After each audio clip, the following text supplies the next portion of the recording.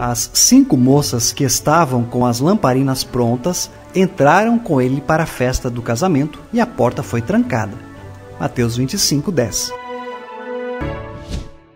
Dificilmente alguém vai para uma festa sem se arrumar adequadamente.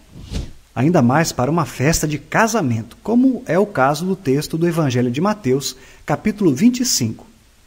Receber um convite antes de mais nada já é uma grande honra. Afinal, fomos escolhidos para fazermos parte da celebração, onde os mais próximos e queridos são convidados.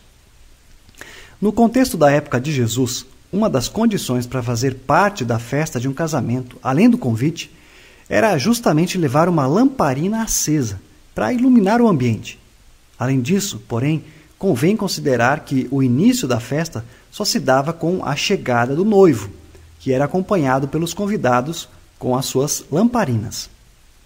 Jesus faz uso de uma imagem conhecida por todos para falar sobre aspectos importantes do seu reino.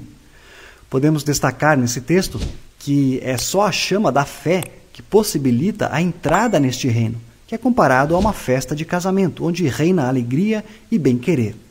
Assim é o reino de Deus, um espaço de alegria, de bem-querer, do qual fazem parte os que creem, os que confiam em Jesus como o seu Salvador.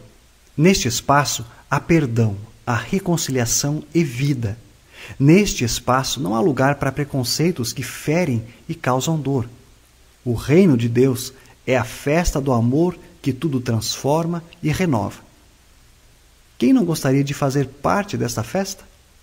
O convite está feito e o noivo, Jesus, continua passando, convidando cada pessoa em todo o mundo a tentação do sono e da negligência estará sempre ali. Mas sejamos como as moças da história de Mateus 25. As cinco moças que estavam com as lamparinas prontas entraram com ele para a festa do casamento. Oremos. Senhor, obrigado pelo convite para o teu reino. Que honra e distinção. Que a chama da fé jamais se apague, mas que se fortaleça na ação do teu Espírito. Amém.